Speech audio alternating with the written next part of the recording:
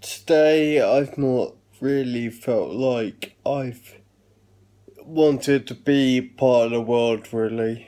Um, I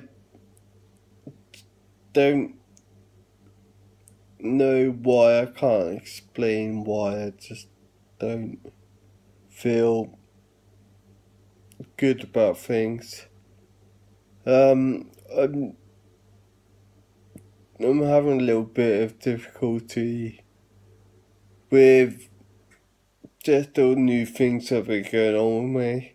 Um, I'm having some some kind of reaction to my new medication where I'm constantly I'm constantly tired, I'm so sleepy. I fell asleep at 11 o'clock last night and woke up at half past 9 this morning. And, and a bit, and I fell asleep twice today. Um, and yet I'm still tired now. I, I don't know. I've just not been wanting to go out. I've just not wanted to interact with people. I've just wanted to be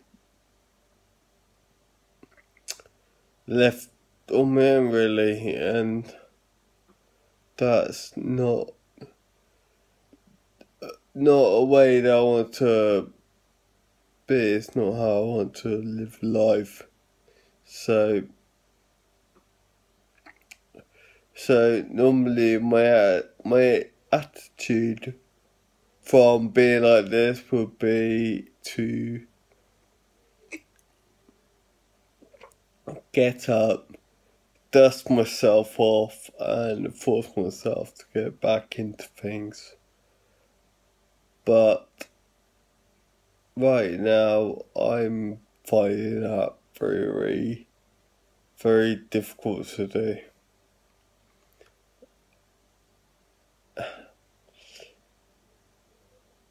And I hate feeling like this. It happens a lot. I don't like it at all. It's something that I can't really explain why I feel bad, but I do.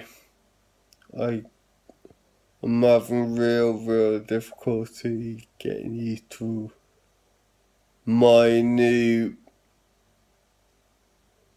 medication and my new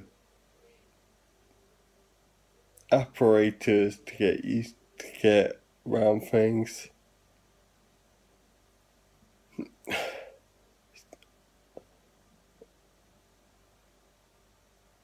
I, I know everything I'm doing is for my benefit for my good.